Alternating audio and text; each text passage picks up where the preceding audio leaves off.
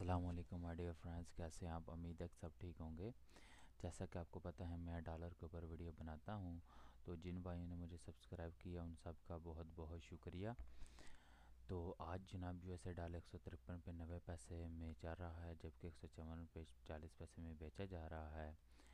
Euro آج ایک سو ستر پہ پچاس پیسے میں خریدا جا رہا ہے، جبکہ ایک سو ترہتر پہ میں بیچا جا رہا ہے۔ یو اے درہم آج اکتالیس پہ پینسٹھ پیسے میں خریدا جا رہا ہے جبکہ بیتالیس روپے میں بیچا جا رہا ہے سعودی ریال چالیس پہ پینسٹھ پیسے میں خریدا جا رہا ہے جبکہ تالیس روپے پانچ پیسے میں بیچا جا رہا ہے آج جنا کویتی دینار پانچ سو ایک روپے پچاس پیسے میں خریدا جا رہا ہے جبکہ پانچ سو چار روپے میں بیچا جا رہا ہے کینیڈی ڈالر ایک سو گیا چودہ روپے پچاس پیسے میں خریدا جا رہا ہے جبکہ سو روپے پچاس پیسے میں بیچا جا رہا ہے آسٹریلین ڈالر سو روپے میں خریدا جا رہا ہے جبکہ سو تین روپے میں بیچا جا رہا ہے عمانی ریال تین سو نڑینوے روپے پچاس پیسے میں خریدا جا رہا ہے جبکہ چار سو ایک روپے پچاس پیسے میں بیچا جا رہا ہے اچھا جی قطری ریال بتالیس پہ پچیس پیسے میں خریدا جا رہا ہے، جبکہ بتالیس پہ پینسٹھ پیسے میں بیچا جا رہا ہے۔ بحرینی دینار چار سو سات روپے میں خریدا جا رہا ہے، جبکہ چار سو نو روپے میں بیچا جا رہا ہے۔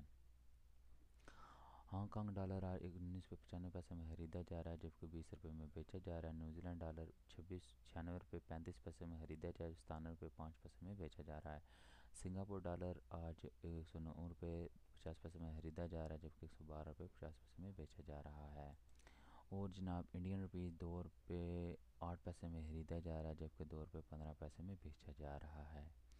اگر آپ کو یہ میری ویڈیو اچھی لگی ہے تو لائک اور شیئر کر دیں، کمنٹس کر دیں۔ تھینک یو فار واچنگ السلام علیکم ورحمۃ اللہ وبرکاتہ۔